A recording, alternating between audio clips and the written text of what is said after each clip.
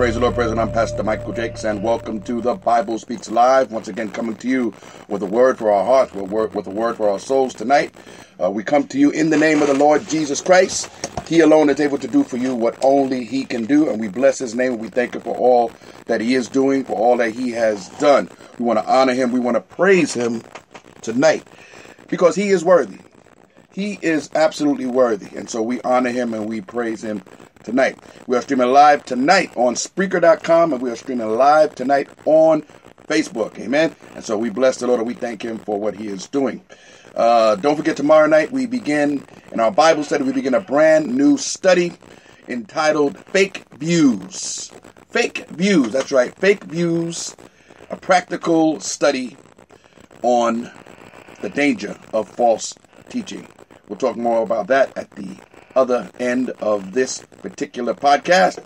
But right now, we want you to settle in, stay with us for a little while as we get into the Word of God. Um, you can go to our website also. Uh, you can go to our website at that'stheword.org. You can also go to our YouTube channel. You can subscribe there. You can also find all of our podcasts lined up neatly for you on Spreaker.com. That is Spreaker.com com. So we bless we bless the Lord for what He is doing in our midst. Amen. Let's pray and we'll get right into the word for this evening. Lord, we bless your name. We thank you, Lord, once again you have allowed us to uh, come before you. Uh, and Lord, we thank you for all that you have done. And Lord, we pray for the next few minutes, Lord, that your Holy Spirit might settle in over us, Lord Jesus. Lord, we pray that you might anoint this word as it goes out. Lord, I pray you might draw those who need to hear this word to this place on the World Wide Web right now. Lord, have your way. Bless, encourage, enlighten, convict. Lord, do what only your word can do, even right now. Lord, I bless you. I thank you in Jesus' name. Amen. Amen and amen. So we bless the Lord. We want to go to the book of Jude. Jude, that little book right before you get to the book of Revelation in your New Testament. The book of Jude. Since it only has uh, one chapter, if you want to call it a chapter, we're just going to refer to it. Just go to Jude 20. Jude 20. You want to say Jude chapter 1, verse 20, that's fine. But go to Jude 20. Jude 20. And we'll start in verse number 20. We'll go down to verse number 24. It says, But you, beloved, building up yourselves on your most holy faith, praying in the Holy Spirit. Keep yourselves in the love of God, looking for the mercy of our Lord Jesus Christ unto eternal life. Verse number 22. And of some have compassion, making a difference, and others save with fear, pulling them out of the fire, hating even the garment spotted by the flesh. Now unto him who is able to keep you from falling and to present you faultless before the presence of his glory with exceeding joy. Let's go on to verse number 25. To the only wise God, our Savior, be glory and majesty, dominion and power, both now and forever. Amen and amen. Lord, may you once again bless the reading of your word. Let me ask you a question. Are you building yourself up? Are you building yourself up right? We want to talk tonight about building yourself right. Building yourself right. Now, this entire book of Jude, Jude, the brother of Jesus, has dedicated himself to bringing down the house of those who teach false doctrine. And if any one of us are not careful, any one of us can become a victim of false doctrine. In order to not become a victim of false doctrine, you must first know the doctrine yourself. You must know, first of all, the Word of God. It is very important that you maintain a good relationship with the Word of God.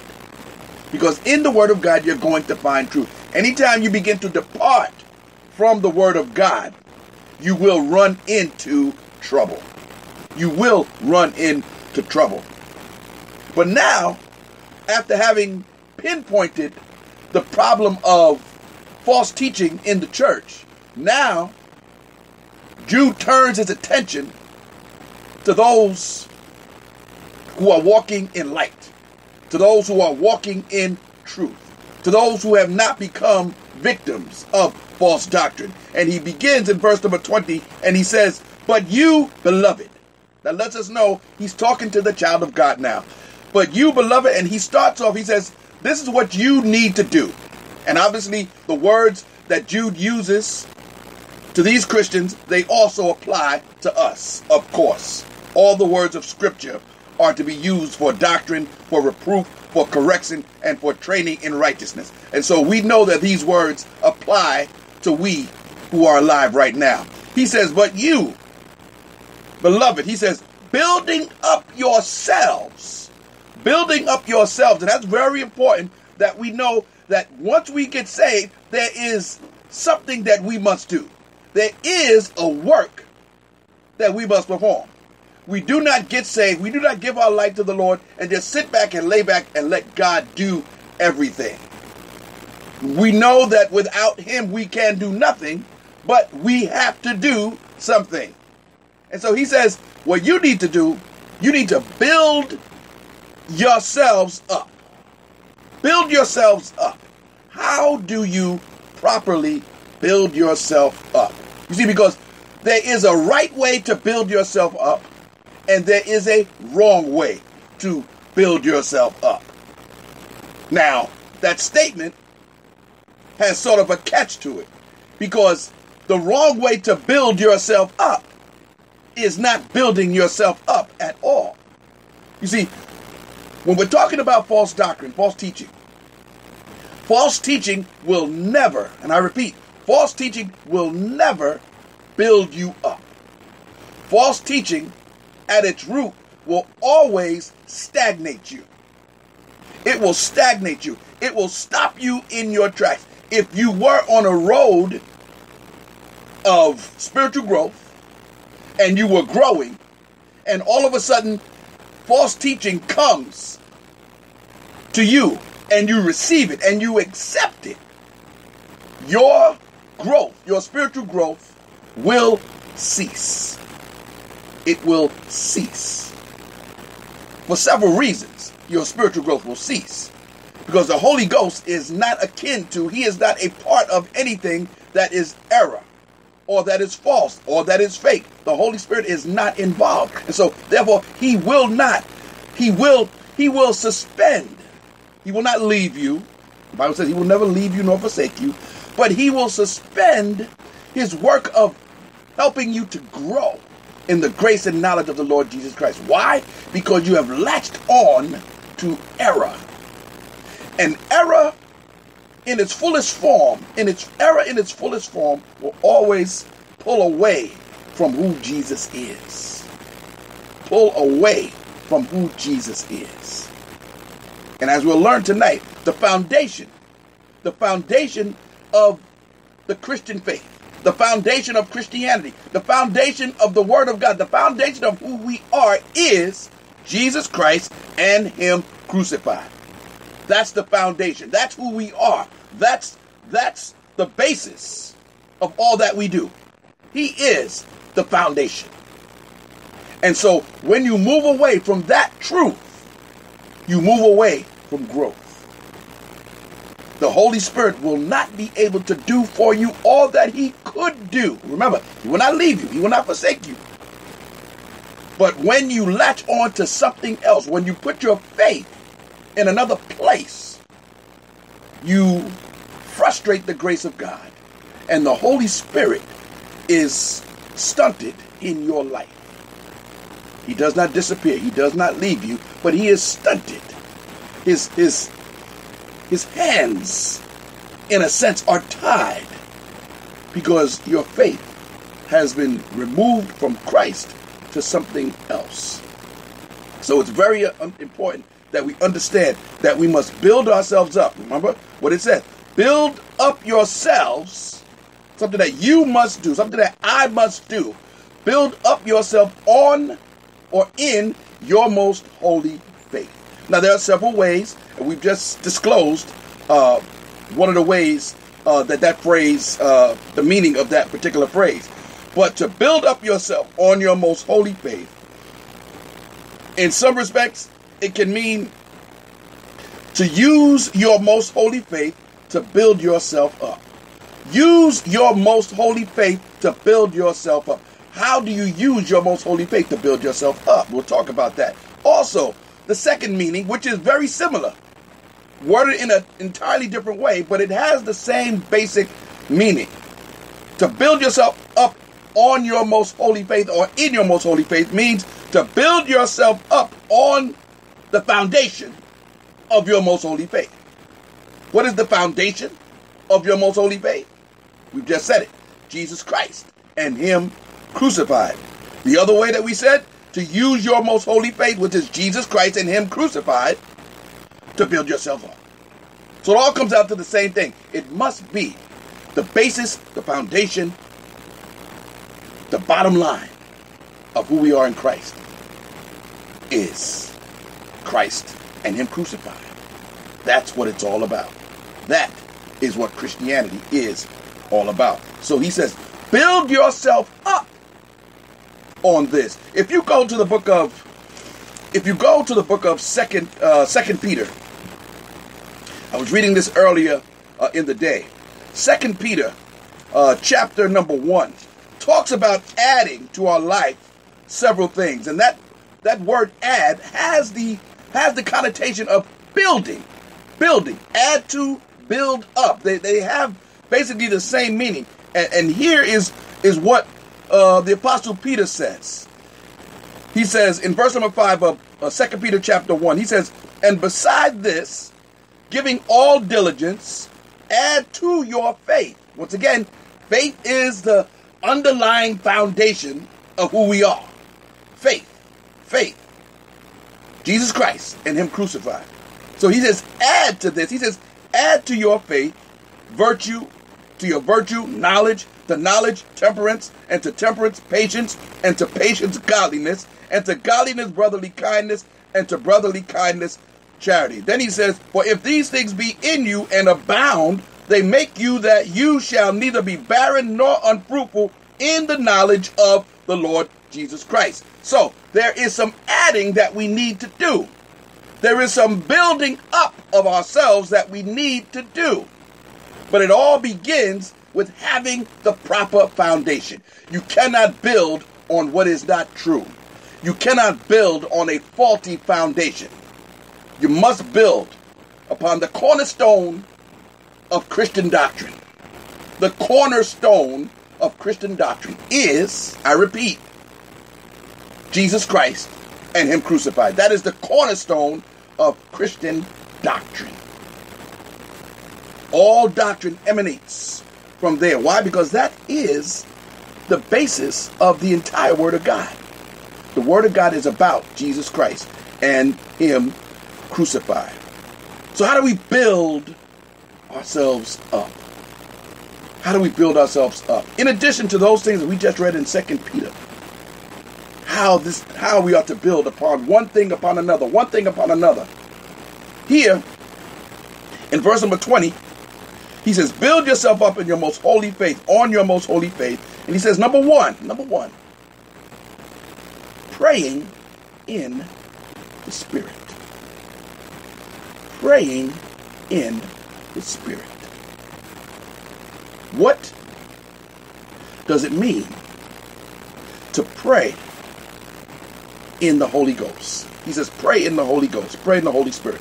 What does it mean to pray in the Holy Ghost. Now, some will look at that phrase, and I am Pentecostal.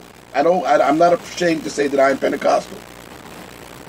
I may be a little conservative for some, for the taste of some, but I do consider myself Pentecostal. I don't. I try not to get caught up uh, in denominational things. I'm a Bible believing Christian. I believe that the Bible that Pentecost is is where the Bible leads because we have the book of Acts, which we cannot erase. And those things within the book of Acts are still for today. So I consider myself Pentecostal. But here's what it says praying in the Holy Ghost. And if you, if you believe in speaking in tongues and such things as, as that, which I do, you might tend to believe that praying in the Holy Ghost means that we ought to pray in tongues. That we ought to pray in tongues that we ought to pray in our, as some Pentecostals put it, pray in our prayer language. But this statement does not have that in view. That is not what is being spoken of here. To pray in the Holy Spirit does not mean to pray in tongues. The word tongues is nowhere found in these verses. So, therefore, let's not read tongues into this statement. To pray, to pray in the Holy Ghost, to pray in the Holy Spirit simply means to to to pray in conjunction with the Holy Ghost. It means to pray uh, in alignment with the Holy Ghost. It means to pray in agreement with the Holy Ghost. Uh, the Holy Ghost uh, should should stimulate. The Holy Ghost uh, should infuse and empower all of our prayers. We can't pray without the Holy Ghost. You know that scripture that says, you know that scripture in first in, in Romans rather, uh, that speaks about there are times that we do not know how to pray as we ought to pray. But the Holy Spirit intercedes, He intervenes uh, uh, with groanings which cannot be uttered. And some would also think that that means speaking in tongues. But there is no clear indication that that is even talking about speaking in tongues. But the Holy Ghost will will intercede for us when we don't know what to pray. Have you ever been in that place in your life where you just don't know what not that you don't know, but have you ever been to that place in your life where you just can't pray? I cannot be alone. Sometimes you just can't pray. The words, the words can't come. Maybe you feel overwhelmed. Maybe you maybe you feel that there's just too much on your plate. I don't know, but sometimes that it, we come to that place. We come to that season where prayer just becomes difficult. We already know, you must already know, that prayer is a place where the enemy does not want you to go. Prayer is not the place where the enemy would have you to be. He does not want you to pray. Because prayer is, as we said, prayer is where you will become empowered. Prayer is where the Holy Ghost will begin to speak to you. Prayer is the place where the Holy Ghost will begin to direct you and lead you and show you the things that you need to do. Prayer is not always about supplication and asking the Lord what to do and how to do it and Lord, I need you. Those prayers are fine. But when you get down, my experience has been when I get down to pray for myself, for my own needs, my experience has been that the Lord will will always, almost without fail, begin to direct my spiritual attention someplace else, away from myself. It happens almost without fail as I begin to pray. This person comes on my heart, and that person comes on my heart, and I see names, and I see faces, and I hear voices of individuals as I pray for me. So, what do you do? You pray for the other people as the Lord brings them to you. So, while you came before the Lord uh, uh, in supplication because you have a need, you begin to become an intercessor. You begin to become an intercessor. And rather than praying for yourself, you begin to pray for the needs of others. That's what can happen when you really, really get down to pray. The Lord will begin to show you different individuals that need prayer other than yourself, beside yourself, or more than yourself and you must pray for those individuals. So, praying in the Holy Ghost, once again, is praying in alignment with Him, it is praying in conjunction with Him, and it is praying in agreement with Him. That is how we pray in the Holy Ghost. And He will meet your need. He will meet your need as you come before Him. But don't allow the enemy to subtract prayer out of your life. That's what the enemy wants. The enemy wants you, the enemy wants you to, to just abandon the place of prayer in your life. When we go to the book of Second Chronicles, chapter 7 and verse number 14, you know what it says. It says, If my people, my people, which are called by my name, talking to the child of God, he says, says number one, shall humble themselves. Humble themselves. And then he says, and pray. And pray. The enemy wants to keep you from prayer. Then he says, pray and seek my face. That's seeking after his presence. He doesn't want you to have an Isaiah experience. The enemy does not want you to have an Isaiah chapter 6 experience where you begin to see yourself for who you are and you begin to cry out. And once you cry out, the Lord begins to empower you and equip you. That's not where the enemy wants you to be. You see, it's not when, when it comes to prayer, it's not about it's not about quantity. It's not about how long you pray. It's not about praying for one hour and two hours and three hours, which is nothing wrong. And, and we've done this. But it's about the quality of your prayer.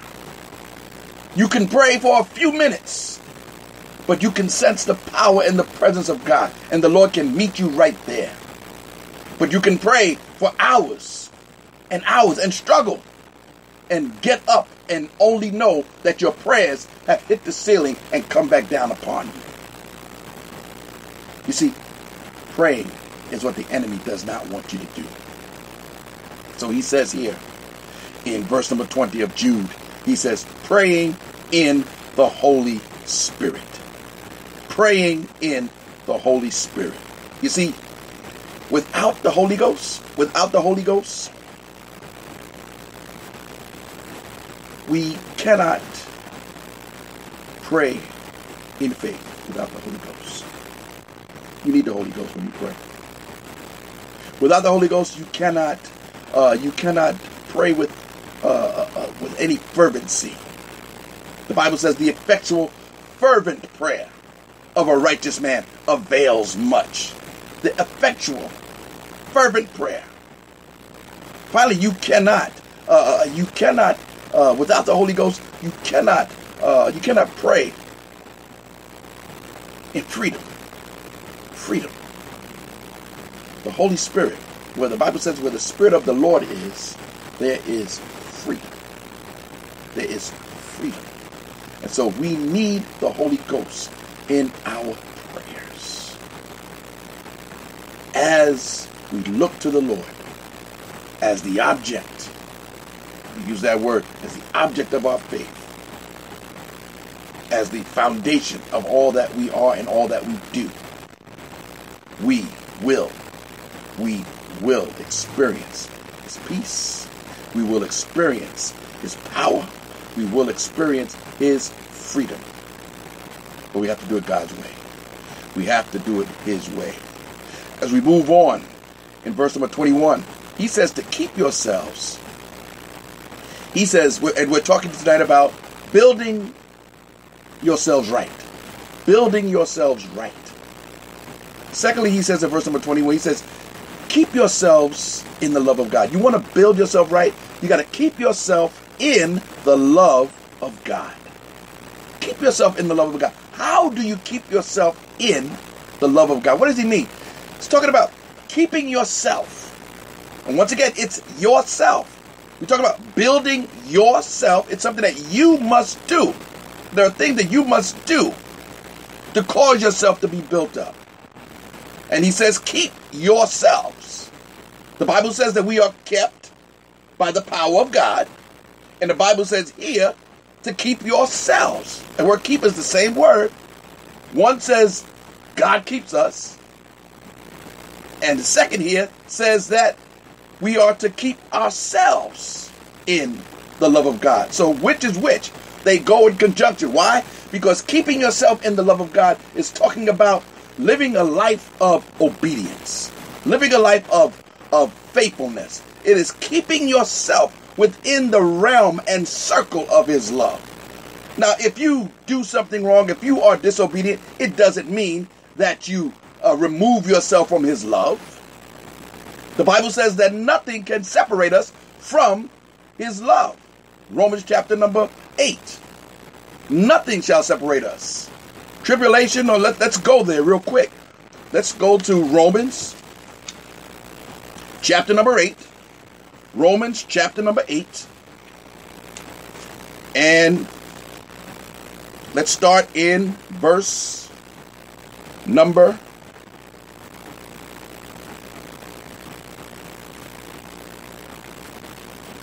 Thirty-seven. Romans chapter 8, starting in verse number 37, says, Nay, in all these things we are more than conquerors through him who loved us. Verse number 38. For I am persuaded that neither death, nor life, nor angels, nor principalities, nor powers, nor things present, nor things to come, nor height, nor depth, nor any other creature shall be able to separate us from the love of God, which is in Christ Jesus our Lord. That's not talking about our love for Him, that's talking about His love for us. Nothing will stop Him from loving me. Nothing. Not one thing. And so, keeping yourselves in the love of God means to always, always keep yourself under the awareness, under the knowledge that He loves me. And when I know that He loves me, I'm going to be faithful to Him. When I know that He loves me, I am going to desire obedience to Him. Now we have to know because we are human, because we are in this mortal flesh, we know, you know, that your obedience is not going to be perfect. As much as we desire it, our obedience is not going to be perfect. Because we have this ever present sin nature that desires to do everything opposite of that which God would have us to do. And there will be times, there will be moments where we will sin. That's just how it is. But we don't stay there. We don't stay in sin. The Bible says in First John that we, in First John chapter 3, that we cannot sin. In other words, we do not practice sin. We don't wallow in it. We don't rest in it. We don't lay in it. When we sin, the Bible says a righteous man, a righteous man may fall and get up many times. He gets up. We don't stay down. So we must keep ourselves in the love of God. Know that He loves me. In spite of myself, He loves me. He loves you. In spite of you. In spite of your sin, He loves you. He loves you. So build yourself up knowing that you have a God who loves you beyond measure. Loves you beyond measure. He says, keep yourself in the love of God. And then he says, looking for the mercy of our Lord Jesus Christ unto eternal life. What does that mean? If you want to build yourself up, if you want to build yourself up on your most holy faith, based on your most holy faith, he says, look for. Look for. Look for what? The mercy of God. It's talking about living expectantly. Living expectantly. Expect the Lord to move. Expect the Lord to work. Once again, we're talking about faith. Expect Him to move. Live with an air of anticipation of what God is going to do. Looking for the mercy of God. This is also, this is all reminiscent of speaking about the rapture. The Bible says that we should look for, expect Him to come. The Bible calls the rapture of the church, calls it the blessed hope. We look forward to it. John says in the last chapter of the book of Revelation, he says, Even so, Lord Jesus, come quickly. The New Testament saints, when Paul was speaking about these things, they thought, and Paul himself may have thought, that the coming of the Lord was imminent, meaning it was going to come soon. It is still imminent. He has not come yet, but Christ is coming, ladies and gentlemen. And we ought to be in anticipation, waiting for, expecting, anticipating Him to come. Oh, yes, He is coming. there have been many false prophets, many false prophets who have come and spoken some things over the years. You may know of some of them who have said some things that Jesus uh, came already, or some say that Jesus is not coming. There's some who mock the coming of the Lord Jesus. The Bible says there will be mockers in the last day, talking about where is the promise of his coming. But there's a reason. But there is a reason why Christ has not come yet. He may come before this podcast is done. But there's a reason why he has not come yet. And he explains that. Peter explains that. He says the reason why the Lord has not come yet, because it's not about slackness as some count slackness. But the Bible says that he is not willing that any should perish. He is long suffering to us because he is not willing that any should perish, but that all should come to repentance. How long? Until the last person who is to get saved gets saved before the trumpet sounds. There will be others who will be saved after the trumpet sounds. When the church is gone, others will be saved. But there are yet more to be saved.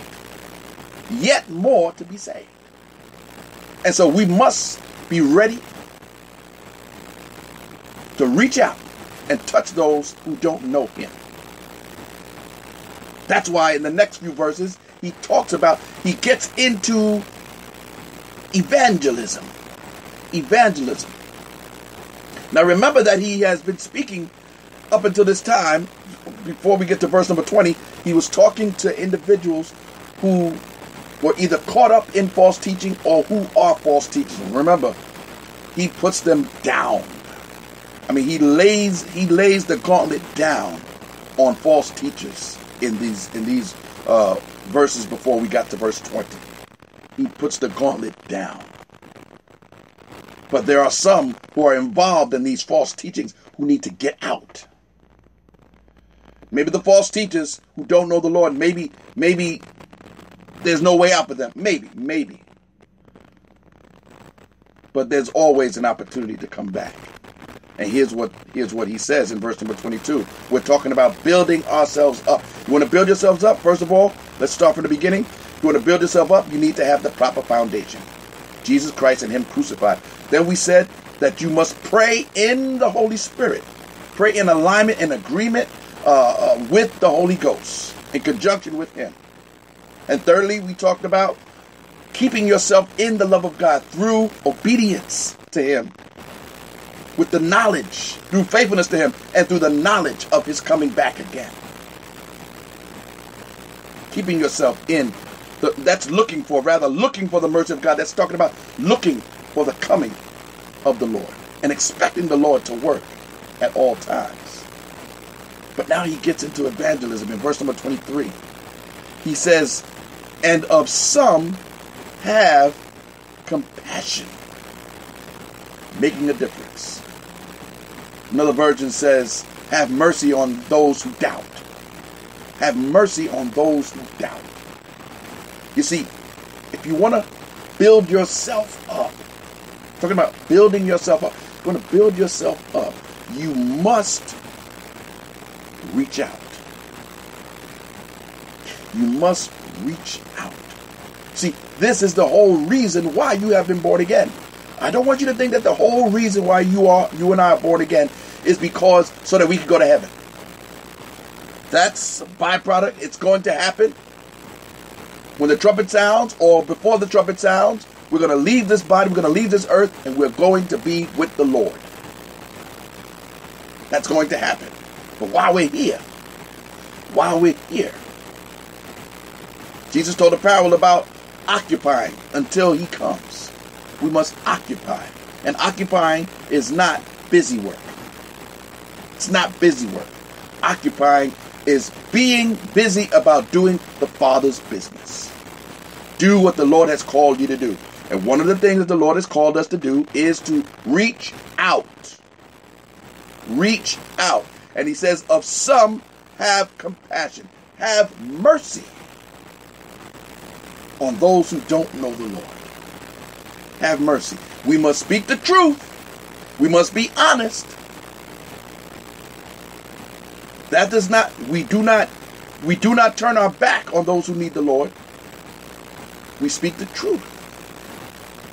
And speaking the truth means just that speaking the truth. Sometimes the world is not going to agree with the things that we say. But we do not say the things that we say because we have a hatred for them. It ought to be because we have a love for them and we want to see them make heaven their home. And so we have to tell them the truth. We have to tell them the truth. We have to tell them who Jesus is. We must. We must. It's not what the world wants. It's not what the enemy wants. Enemy of our souls. Have mercy on those who doubt. Even if you use that translation. There are many who are in a crossroads who don't know whether this is right or that is right. They don't know whether this is true or that is true. Maybe something has happened in their life and they just don't understand what's going on, and maybe they begin to question God, question who God is. And we have to understand these things, and we need to have compassion, show mercy. That's reaching out. Another aspect of reaching out, he says in verse number 23, he says, and others, he says, save with fear. This is all about a reaching out. Save them with fear. We must always be on the lookout. Understanding what the enemy can do, understanding what sin has done to certain individuals. Sin has made certain individuals blind. Sin has made certain individuals uh, completely block out who God is, who Christ is, and what He has done. They are completely oblivious to their own condition. Completely. But we must save them with fear, with a, with a particular uh, reverence. In other words, we must be direct.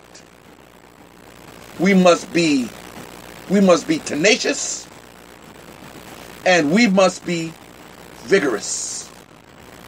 We got to pull them out. We got to pull them out. We have to understand the only option if folk who don't know the Lord stay in the place where they are, they will spend an eternity in hell.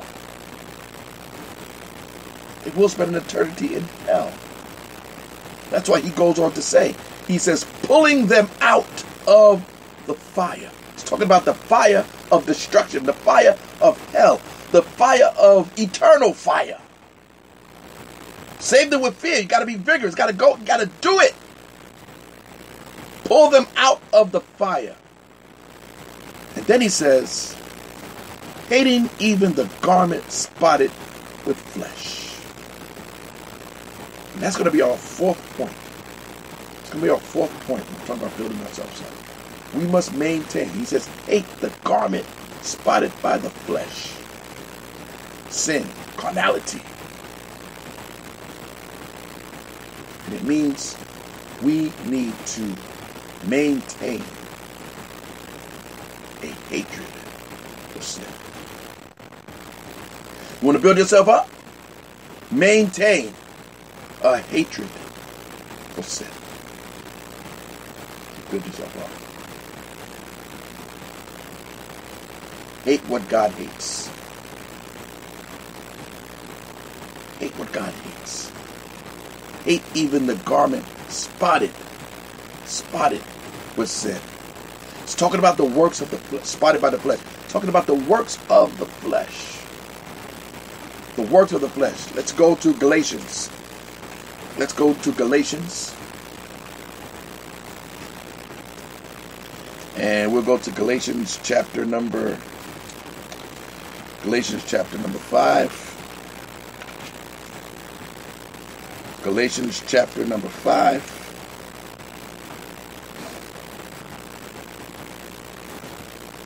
Here's what it says.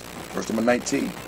Now the works of the flesh are manifest, which are these adultery, fornication, uncleanness, lasciviousness, idolatry, witchcraft, hatred, variance, emulations, wrath, strife, seditions, heresies, envyings, murders, drunkenness, revelings, and such like. These are the works of the flesh. And he says, hate the garment spotted by the flesh. We need to remove ourselves from these types of activities. We must not be a part of the works of darkness. The Bible says that we as Christians, we ought to reprove them, bring them to light. Be the light. Be the light that banishes the darkness. That's what we ought to do. The Bible says that we ought to uh, have the armor of light. The armor of light. The Bible says that we are the light of the world. The Bible says that we are uh, a city set upon a hill. And a city set upon a hill cannot be hid. We do not take our our lights and put them under a basket or a bushel. We must shine. We must shine. And the way we shine is to hate the garment spotted by the flesh. Here's how uh, uh, here's how the New Testament puts it. And this is once again, we are not going to get this perfect. We are not going to get it perfect. But here's what he says. He says, don't even he, he says, avoid even the appearance of evil. If something looks wrong, we are not to be a party to it. How does that work? We have to we have to go to school, we have to go to work, we have to live our daily lives. But yet and still, we must maintain, we must maintain our attitude, our lifestyle of holiness. Be ye holy as I am holy. Be ye perfect as your heavenly Father is perfect. That is talking about maintain a level of maturity that is acceptable unto the Lord. That's what we must do. Hating even the garment, garment spotted by the flesh. This is how you build yourself up. Let's go over those again. Building yourself up means it means having the proper foundation. Having the proper foundation. Jesus Christ and Him crucified. Secondly, it's about praying in the Holy Ghost. Praying in alignment, conjunction, and in agreement with the Spirit of God. Next, it means keeping yourself in the realm and the circle of His love. Know that He loves you beyond measure, more than anything. Next, he says, Look for the mercy of our Lord Jesus Christ unto eternal life. Expect the Lord to do great things. Anticipate the Lord doing great things. And look for the coming of the Lord, the blessed hope. Have compassion on those out of Christ. Have compassion on those who are in Christ, who are involved in teachings that are not scriptural. Have compassion, have mercy. Others, save with fear, be more vigorous. Have that have that tenacious attitude to pull them out of the place where they are. Pull them out of the fire. Because they have one foot in. They have one foot in. Pulling them out of the fire. And finally, hate the garment spotted by the flesh. In other words, in other words, maintain a hatred for sin. Now, when we go to verse 24 as we close out, now we bless him. Now we give him honor. Now we give him glory as we build ourselves up on our most holy faith. Unto him who is able, he is able. Mm. He is able. Unto him who is able to keep you from falling. Always remember that you serve a God that is able to keep you from falling. Always remember that you don't have to fall. Here it is. You will fall. You will because you will. But he can keep you from falling. Remain obedient. Desire. Desire holiness. Keep your faith anchored in Christ and who he is. He says he can keep you from falling and to present you faultless. Remember, he's coming for a church without spot or wrinkle. And when he does come, we will be changed, the Bible says, in a moment, in the twinkling of an eye. And we will be habitable for heaven. We will, we will be presented faultless before the presence of his glory with exceeding joy. When you get there, it will be joy unspeakable and full of glory. Full of glory. I feel like singing. It will be joy unspeakable and full of glory, and the half has never yet been told. When we get there, when we see him, when we see him, we will know. When we see him, we will understand. He will present us faultless, sinless. He will present us before the presence of his glory. Another song says, Oh, I want to see him look upon his face, there to sing forever of his saving grace. On the streets of glory, let me lift my voice. Cares all past, home at last, ever to rejoice. You're going to see him one day. You're going to see him one day. And you'll be seeing him faultless. And your joy, your cup, is going to run over. To the only wise God, verse number 25. To the only wise God, our Savior, our Savior, your Savior, the one who saved you, the one who called you, the one who will keep you. To our Savior be glory, majesty, dominion, power, both now and forever. Amen and amen and amen. Those are powerful words. That's a powerful prayer. That's a powerful uh, doxology at the end. Only wise God, our Savior. Glory, majesty, dominion, Hallelujah. Hallelujah. Build yourself up. Build yourself up. Build yourself up. Right. By placing your faith in Christ and what he has done. Don't put your faith on a faulty foundation. Don't put faith in error. Put faith on truth. Truth. Jesus Christ and Him crucified. Amen, Lord. We bless your name. We bless your name tonight. We thank you once again. You've allowed us to speak your word. Lord, we pray that as we wait for your coming, Lord Jesus, that, Lord, you might continue to allow us to build ourselves up in the faith that is founded in you, Lord Jesus. Lord, we look to you as being the author and finisher of our faith, Lord Jesus.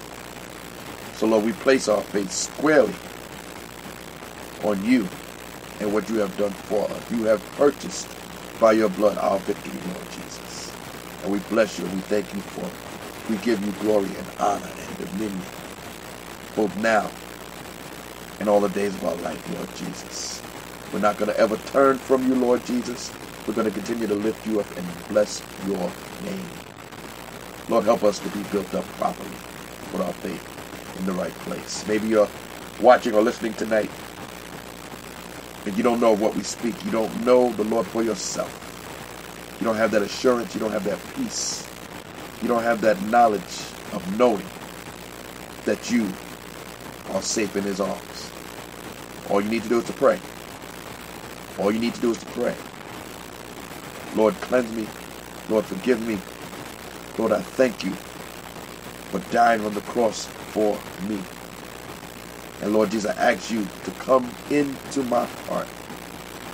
Lord, indwell me by your Spirit. Lord, I want to live for you. And Lord, I believe that you died for me on the cross. And I thank you for all you've done for me. In Jesus' name, amen. We bless the name of the Lord tonight. We bless the name of the Lord. We thank him for his word. We thank him for all that he's done. Want to bless the Lord. We want to let you know uh, that we can be heard on Spotify, uh, Spreaker.com, Google Podcasts, iTunes, uh, and iHeartRadio. Uh, you can also uh, go to our YouTube channel. Uh, just type in That's the Word Ministries or Pastor Michael Jackson to bring you directly to our YouTube channel. Uh, you can subscribe. You can join uh, many others who have subscribed to our channel already. And I know you'll be blessed by what you find there. there you'll find our podcasts, both in video and audio form.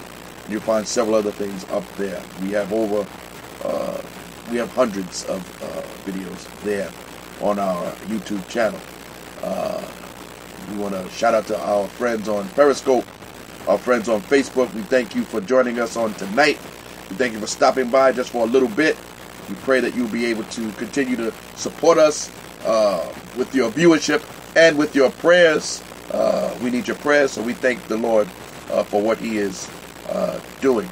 Uh, don't forget, tomorrow night, uh, tomorrow night we will begin in our Wednesday night Bible study. We will begin a brand new study series entitled Fake Views. Fake Views, a practical study on the danger of false teaching. We'll talk about the uh, the importance of sound doctrine. We'll talk about discerning truth from error, the marks of false doctrine, and an overview of the Christian faith. And we'll have to, along the way, we'll name names and and talk about some of the aberrant uh, doctrines that exist today. Uh, so bring a Bible, uh, bring an open mind, an open heart, and be prepared to learn uh, from the Word of God. We look forward uh, to our study beginning tomorrow night. Once again, fake views, a practical study on the danger of false teaching. And it is dangerous and rampant in the church today. Amen. Also, we want to remind you don't forget Thursday night, you can go over to the Bible Study Club uh, and you can be a part of the Bible study of Clarence and Diana Haynes. You'll find there practical, uh, solid, and powerful biblical principles for you to live by. And I guarantee that you will be blessed. That's Thursday night at 8 o'clock at the Bible Study Club on Facebook. Go to their go to their Facebook page. You'll get more information about how you can be a part of the Bible Study Club. Amen. So we thank you. We thank you for listening. We thank you for watching. I'm Pastor Michael Jakes, and we'll see you next time. Thank you for being with us. God bless you.